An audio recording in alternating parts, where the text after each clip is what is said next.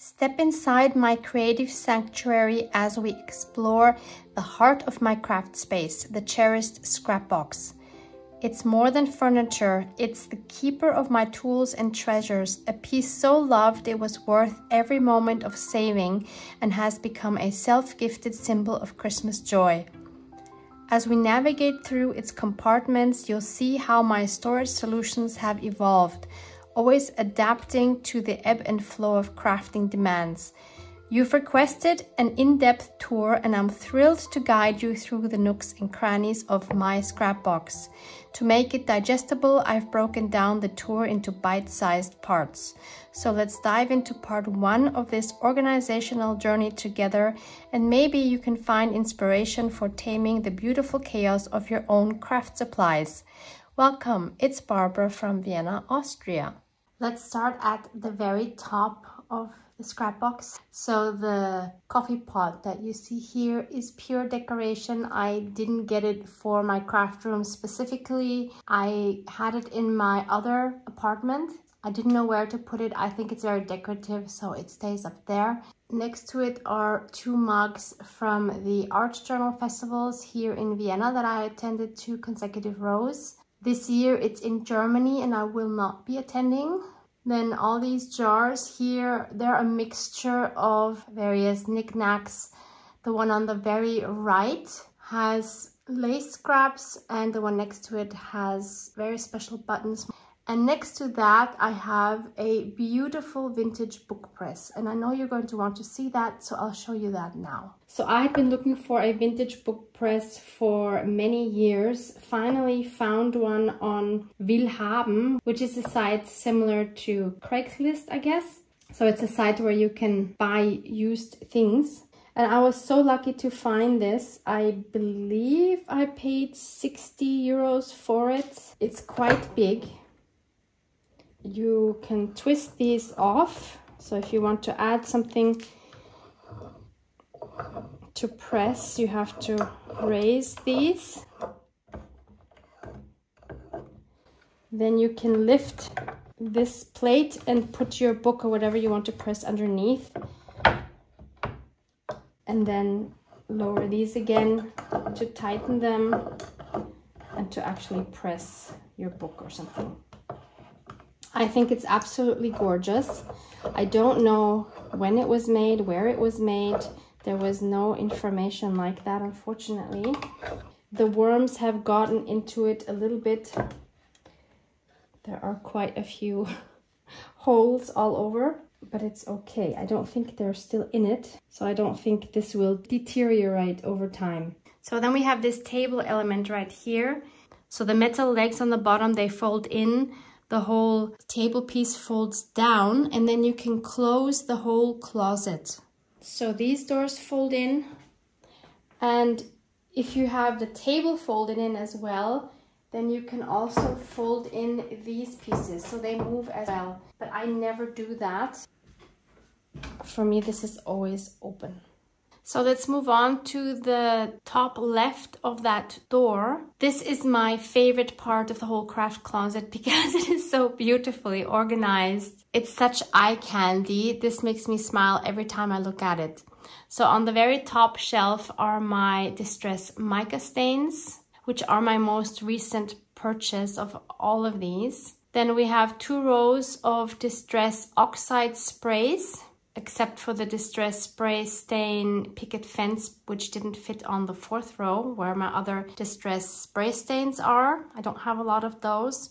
And next to it are the Distress Stain Daubers, which have been discontinued quite a while ago. So that is my pride and joy. If I expand this collection, I don't know what to do because I don't have any more space there. I don't have any more shelves like this. So that's kind of what's keeping me from buying a lot of these Distress Oxide sprays and spray stains. I love them a lot. I love using them with stencils. But maybe it's a good thing because I also get overwhelmed by the amount of things I have. So maybe it's good that this kind of keeps me in check a little bit.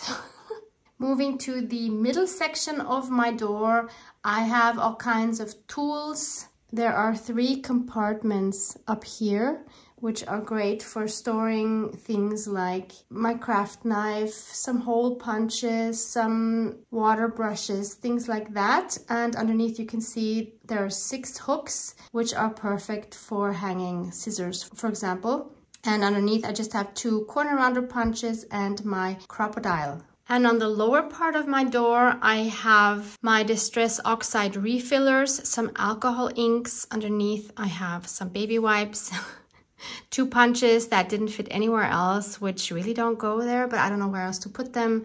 And as you can see on the bottom, I have this huge clear bag which sticks to the door because the door has some felt on it and the bag sticks on it with velcro. And these bags came with the scrap box. There's a whole bunch more that are on the other door. And in it you see I have some doilies which I haven't used in about 100 years. I feel like I should use those at some point. Moving on to the top part of the larger part of the door. So this is the part that you could fold in. This top part is very random I have some clear plastic sheets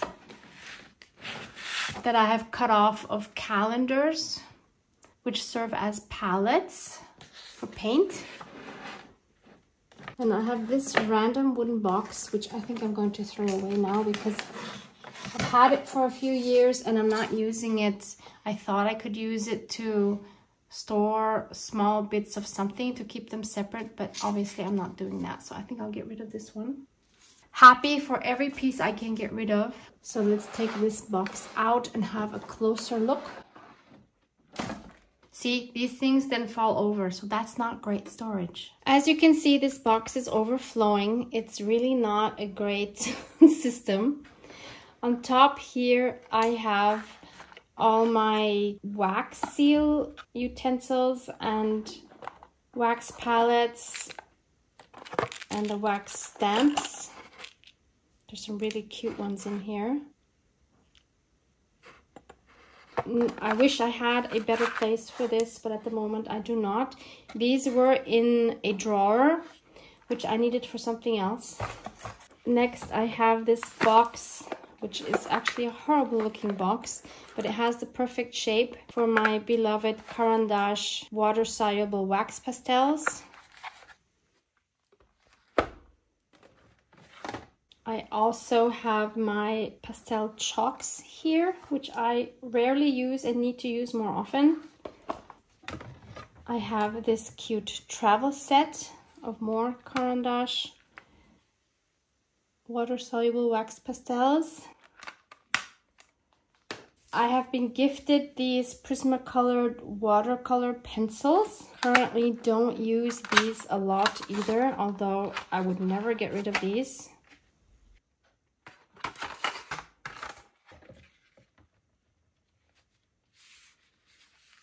some oil pastels, which I don't use a lot, but again, would never get rid of. We have a broken rubber band, very handy. this is a super old box. I think I got this from my dad. Definitely very vintage. And this just has some tools for linoleum cutting and stamping inside. Don't know if I'll ever use them. Don't know if this is the best use for the box. I have this very cute calendar, which is an artist almanac from 2022. I was gifted this. I have not used it enough. It has such beautiful artwork. You can't see. Love these so much. Should incorporate them more in my journals and planners always forget about them. I'm not sure where these are from. Here's a list of contributing artists. I think these were sold via an Instagram account two years ago, but I unfortunately don't have more information on them. Maybe you can search for this online if you're really interested. Artist Almanac, not sure if they still make them. And then I have a random bottle of coffee for paper dyeing in here. Hmm. Interesting that that has not gone bad because that's been in here probably about a year without any cooling. So a very random box. And by the way, the reason I don't use these anymore is because I got the Tim Holtz Tonic Studio glass mat, which also has this mixed media pad on the side where I would now put my paints. So actually I don't need these anymore. I should get rid of them. What's the point? And then up here I have some glue refills, PVA glue, art glitter glue which is almost empty and I need to reorder. I love getting these 16 ounce or 480 milliliter big bottles to refill my small one much more economical obviously. I have a spray fixative here. This is my beloved Collall all-purpose glue. I also get that in large containers because obviously it's much cheaper. This is what I put in my three-in-one bottle, this Beacon bottle, because it is exactly the same thing, but in Europe this is a lot cheaper than the three-in-one glue. Then I have this repositionable mounting spray I have spray glue. I have a tiny bit of this permanent black edding spray, which I actually wanted to declutter, but then I didn't because I thought I need to use this because actually it's really great. And now I have a balcony because this has a very strong smell and it's fine on a balcony. I also have an acrylic spray in white, which I love. And finally, I have this bottle of plant glycerin, which I might use for something at some point. Not getting rid of it. Originally, I got it to make my own jelly plate, which I never did. So now this slides in and out easily without being hindered by the other things that were in here. So yay. Next, again, we have a very random drawer. By the way, all of the acrylic drawers that are in here came with the scrap box. I think I had to pay a little bit extra for these drawers, but you have to keep in mind this was years ago, so maybe they have changed things now. But with the standard price of the scrap box, you got some fabric drawers, but I really wanted these acrylic ones. So I invested in the upgrade and I have never regretted it since. So as you can see here, it's a mishmash of everything. This is my largest punch, which does not fit anywhere else, but I don't want to get rid of it because it has some great shapes.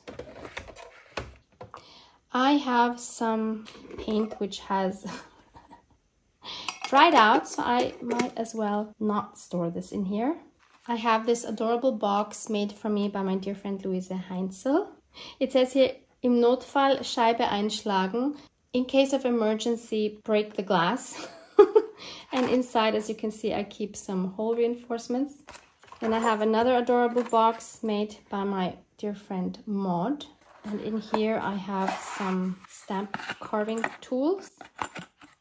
Probably I should add my linoleum stamp tools in here as well. That seems like it would make so much sense.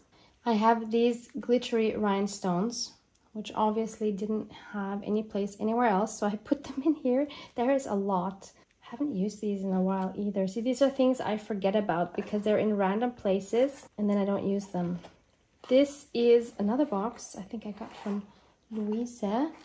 And inside I have random metal pieces that, ooh, there's some book corners. I might use these for my memory book project. I will keep these out. See, I forget what I have. Random metal things that I think I'm going to use in something and then never do. Adorable box I bought at some random shop here in Vienna. Inside I keep all of my fabric washi tape. Love these. Haven't used them in probably years because I forget about them because they're in this box, in this random drawer. These are two more which are too big to fit in here. I should just cut them down to make them fit because I don't think I would ever use them as a large piece like this. This is something I really treasure. It's a roll for art supplies. It's by Cretacolor. And it rolls out like this. So these are all my good drawing pencils, shading pencils,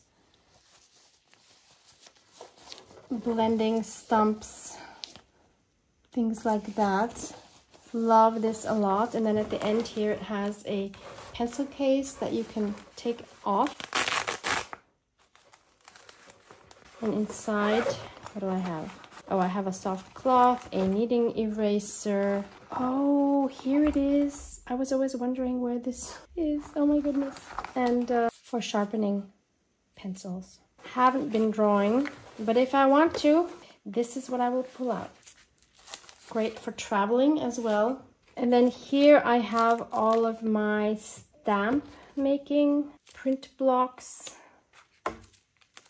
various sizes here also some wooden blocks to mount the smaller ones on. So you would carve these and then they have backing that you can take off and just stick onto the block and make your own stamps. I've been meaning to do that for a long time. And lastly I have these two paper rolls which came from a Goodwill. Next, let's go through these two drawers. This is again a pretty random one on top here because it doesn't really go in. It's too tall. I have this Sizzix foam pad which is meant for shaping paper. It goes with these tools that I have in my door. I've actually never used it before. Then in front here I have various tools.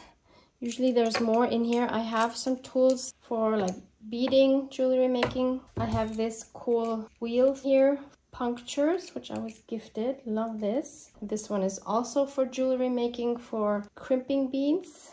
Oh my goodness, I've been looking for this. This is a ring to use. Instead of using pliers to open and close jump rings, you do it with this one. I've actually never used it because I could never find this after I bought it. So now I know it's in here. Totally makes sense in here with the other jewelry making tools. Then I have these for hole making. It's a double cap rivet tool. Obviously, I've never used it. And I also have these hole making tools. And this is a tiny little mat for using these kind of hole making things on. More foam for all sorts of purposes. This is the one I usually use when I make holes in my signatures. This here is actually a container made for storing halves of lemons or onions. And inside here, I have some baby powder in a nylon. This is of course for embossing so that your embossing powder doesn't stick everywhere. Then I have this handy tool to cover up an address. You just roll it over your address. And then I have some tape here for my little label maker, which is currently in my kitchen because I have been reorganizing my spices. and in the back here are some things actually I can also get rid of. Uh, this is a piece of candle that I always keep in case pages stick together, especially with acrylic paint. You just rub the candle over those parts and they're good to go. These I bought in the Netherlands last year. I was so happy to find these because I thought they would be great to replace my mica stain nozzles when they clog up. And I didn't even notice that these are Dina Wakley and they do not fit the Tim Holtz mica stain bottles. So I have these, but I don't have any bottles that fit to them. Great job. Then I have some makeup sponges for mixed media. I have this beautiful coaster to make wax seals on random lids. These are great for mark making. There's another one. And some beautiful wax to wax threads for bookbinding. In this one I have various tools like brayers. I think I have four different kinds of brayers. I have some sponge brushes a burnishing tool for my jelly plate, spatulas and things like that. This drawer holds various tapes, masking tapes, bookbinding tapes, double-sided tapes, things like that. Not very exciting, but very useful. This is my drawer of lace, which is also kind of overflowing I just got some of these recently at a flea market. This one, this one, and this one with the swans. I've used this recently in a video of making digitals your own. This is another beautiful flea market find from last year. Love this one a lot.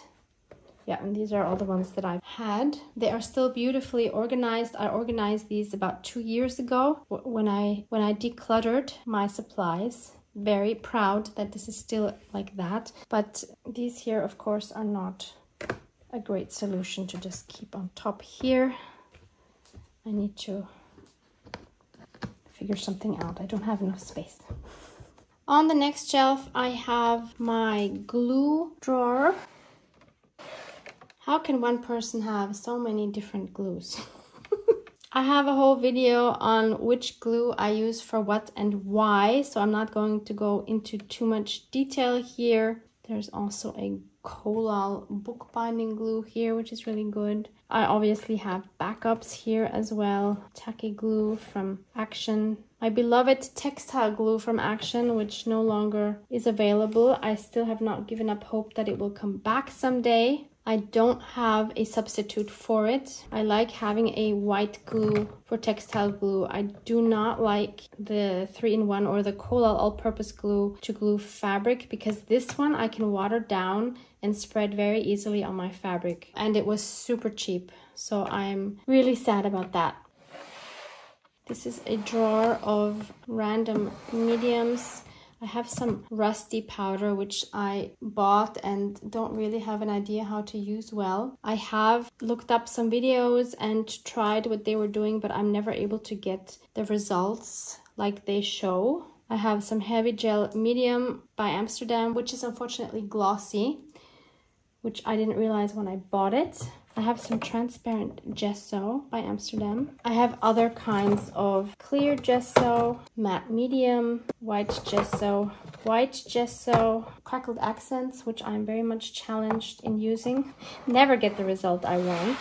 And in front here, I apparently have some glycerin mixed with water. Don't remember what I used that for. Moving further down, I have this drawer which has all kinds of flowers, petals, more flowers, some wooden elements, little wooden birds, and these adorable pine cones, and some metal embellishments like metal plates, other embellishments, these doorknobs which are great for journal cover I have been hoarding these. These are absolutely gorgeous. Hoarding some rhinestones and some stickers actually, which look like metal. On top here, I have this little container of metal elements and large eyelets. And in here I have all my boxes for charms, sequins, rhinestones, things like that. In front here I have different kinds of wires and some magnets. In this drawer I have all kinds of texture paste, crackle mediums, frosted crystal here, more texture paste. I also have my matte medium in here and a container with eggshells for texture. And this one here has two different glue guns, two heat guns, and some glue sticks for the glue guns. Second to last shelf, acrylic paints. I have three shells of acrylic paints and they are overflowing one, two, and three. And finally on the bottom here, I have my two containers with embroidery thread. I have these, which are mostly still intact. And then I have these where I only have little bits left over, which I store like this. Moving back to the top of this part of the door, we have these narrow drawers. This one, as you can see, is partially empty and it holds my perfect pearls. I should maybe also donate these because I don't use them. On this shelf, I have all of my handmade stamps. Love these. Probably not the best way to store them. These next two are for buttons.